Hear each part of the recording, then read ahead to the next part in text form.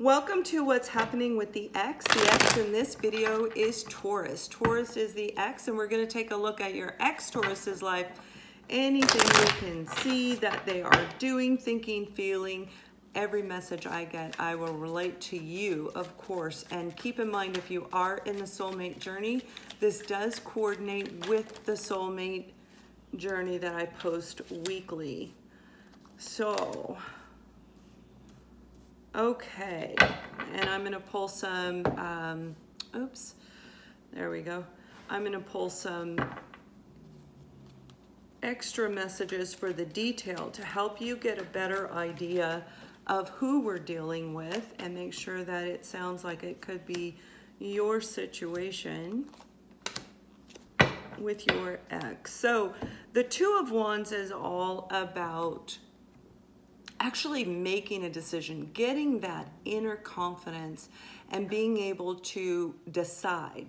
Typically, this comes right after the Two of Swords when somebody doesn't know what direction to go they are lacking in confidence. But here they built their confidence back up and they're feeling very proud, very confident in who they are, and they're very grounded in their own energy.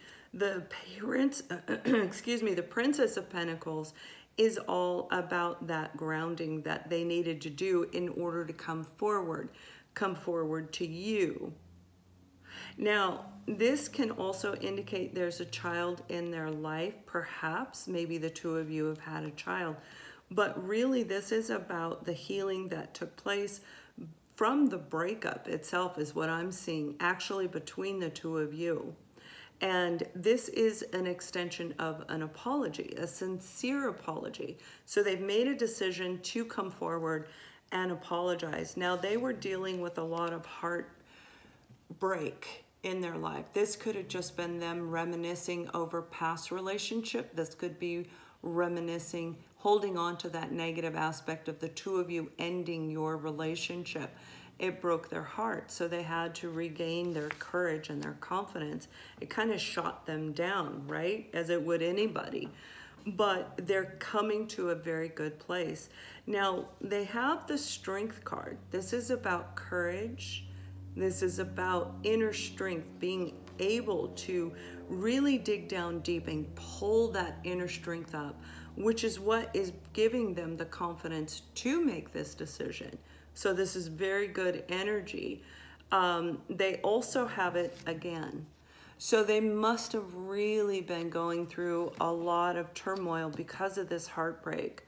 This could have even been, for some of you, they could have actually had some um,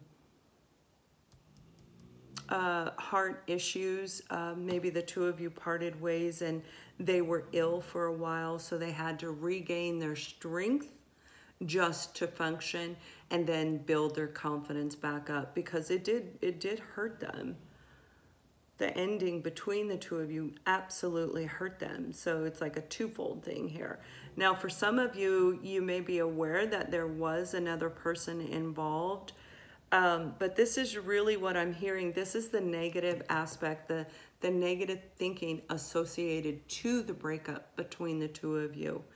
And they are, when we have two cards, two different decks, that's really saying, hey, this is a big deal. So they were really, really lacking in courage, really lacking in strength. They, okay, so what I'm seeing is they were if they were not physically ill, they were just laying on the couch. It was like they didn't have the strength to even go to work, although I'm sure they did. Um, when we're going through a spiritual transformation, for those of you where you're on the soulmate journey, that you you probably can identify with that if you're the chaser watching this, which I'm going to refer to you as the chaser you know what I'm talking about. Getting that strength just to get up out of bed because we're so sad. This is a form of depression where they had no strength and absolutely no confidence, no courage. Um, it was all they could do just to function in everyday life. So this is a huge comeback for them. Huge comeback the person you met was confident when you first met them. And through the relationship, you saw their confidence dwindling down. And then when the ending took place, um, whatever happened, you saw them, they, they lost it. Now, maybe you didn't physically see it, but you knew it. You could feel it, you could hear it in their voice. Um, they were really out of balance, ungrounded. They've recognized everything that's taken place through the situation. They've reviewed everything. They've put themselves back into balance and they have actually gained that courage. So this is beautiful energy. Now, we have the Eight of Wands and the Six of Wands. This is them feeling absolutely victorious, that they have made great achievement just to get off the couch, right? No, I'm just kidding. No, to heal, to heal over this and to get this courage and this confidence back, huge. And they may have people in their life actually saying, oh my gosh, you finally are moving forward. We're so proud of you because it was very, very, very difficult for them. You may be aware of that, but that is what is taking place. So they're feeling victorious. They're feeling a sense of greatness about them that they made it, that they actually survived this because that's where it was. It was like they didn't feel like they could survive. I'm not going to make that. I can't I can't do this. And they could. So this strength that they've got back, the courage they've got back, they're feeling on top of the world. And they will be communicating with you or you'll be communicating with them but this is really about them contacting you because they do want to come forward with an apology. They want to say, I'm sorry.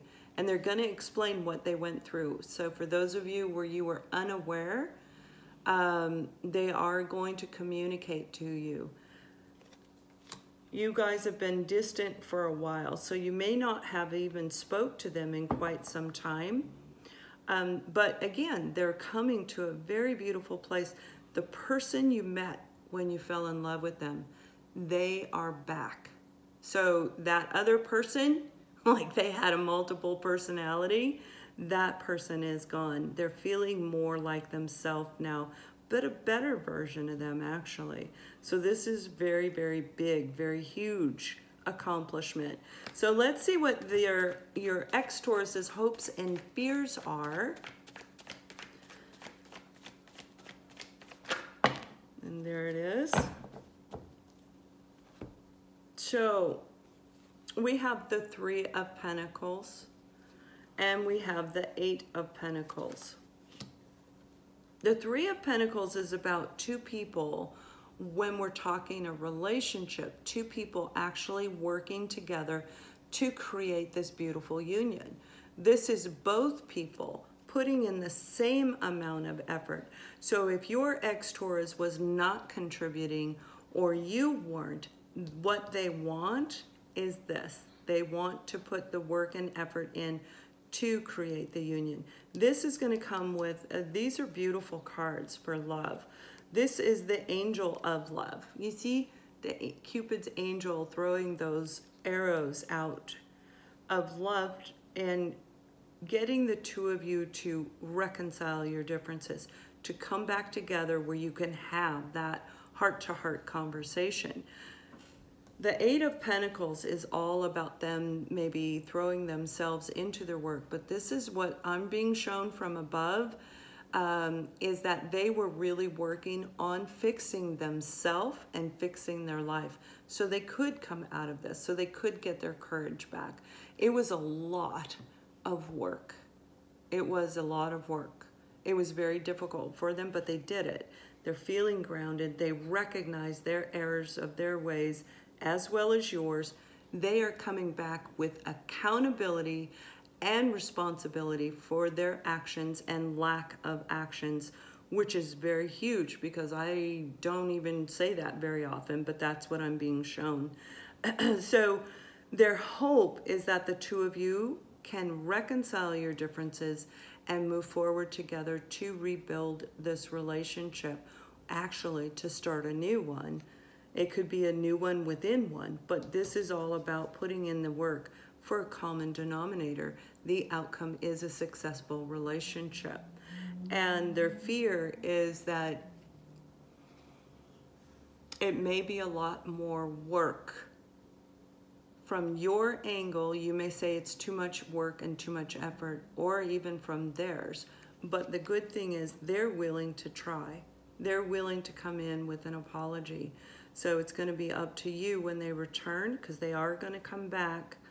Uh, some of you could be hearing from them the end of the two week period, one to two weeks, right? The end of the two weeks, you could be hearing from them. So that would be what, like the end, the last part of the first week of May into the second week of May.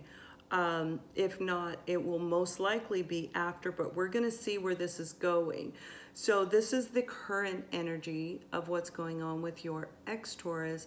And we're going to go now to Vimeo where we'll see what's actually blocking them at this point because they have made a decision. They're ready to move forward, but there is a delay. So let's see why there's a delay and where it's headed in the following one to two week time frame. If you click the link below to Vimeo, it will shoot you over to the series. Scroll down to the bottom, select the correct date and uh, zodiac and date, and check out the soulmate journey. Thank you for watching. Much love.